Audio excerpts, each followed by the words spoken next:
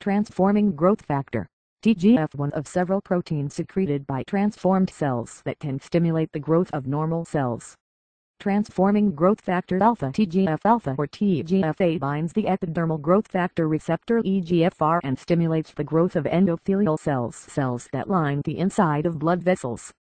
Transforming growth factor beta TGF-beta or TGF-B is found in hematopoietic blood-forming tissue and initiates a signaling pathway that suppresses the early development of cancer cells. Transforming growth factor. TGF one of several proteins secreted by transformed cells that can stimulate the growth of normal cells. Transforming growth factor alpha TGF-alpha or TGF-A binds the epidermal growth factor receptor EGFR and stimulates the growth of endothelial cells cells that line the inside of blood vessels.